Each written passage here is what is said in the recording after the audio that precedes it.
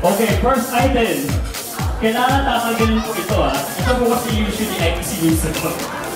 First item, sino ang may Wastizo? Ano was na.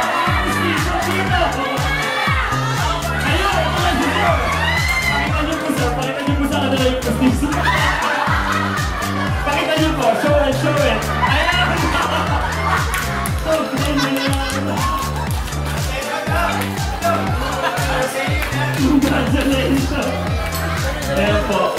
Congratulations, sir!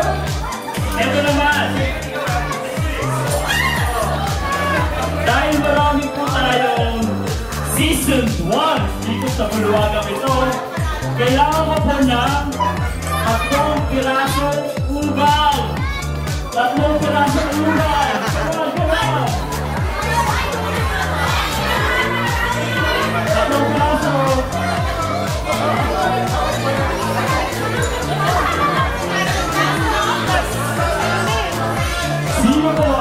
Ayun na,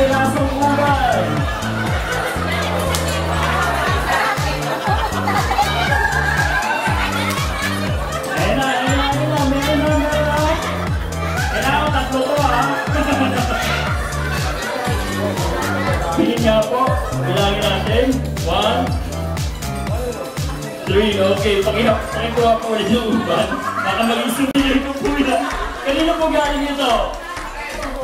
Ato daw niya. Palakanin natin yung ko. Congratulations! Next item!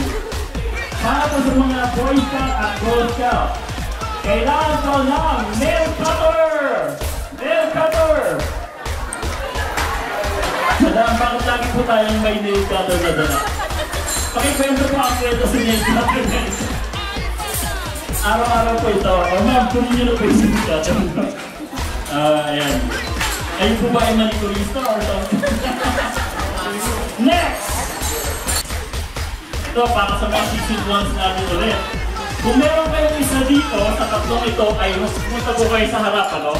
Sino po ang may white flour o efficacent oil o katingko?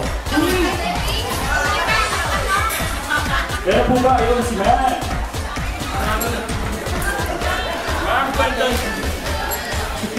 Ma'am, ano po ba ito?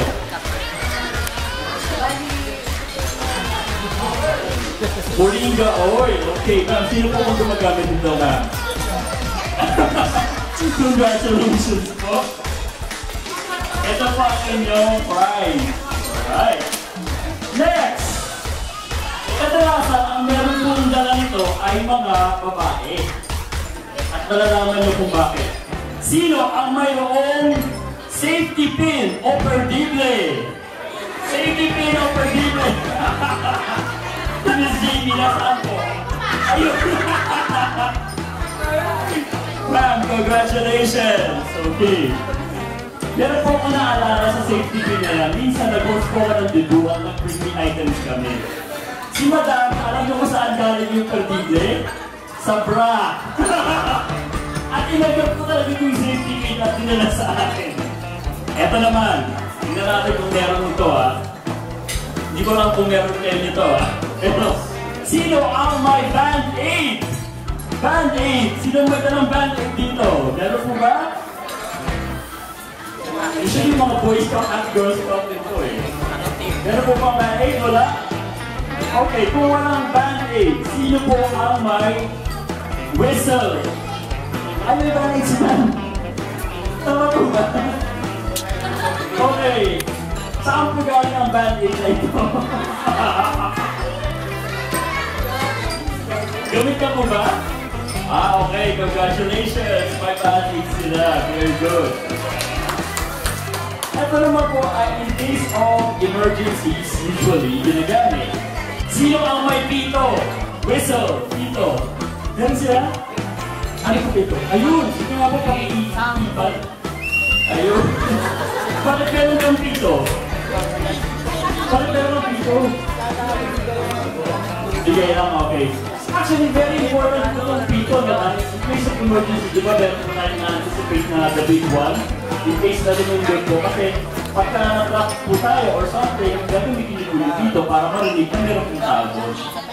Ito naman, meron kaya nito dito? Kailangan po ng medyas na butas or stocking na butas. Meron po ba? Kailangan po ipakita ang ebidensya Gibon pero doon. Punta ka ko siya kayo kasi po. Nasa ko yung butas natin. Ayun, meron talaga siya. meron po talaga siya butas. Dalawa po ba yun, sir? Pinagpasan niyo po?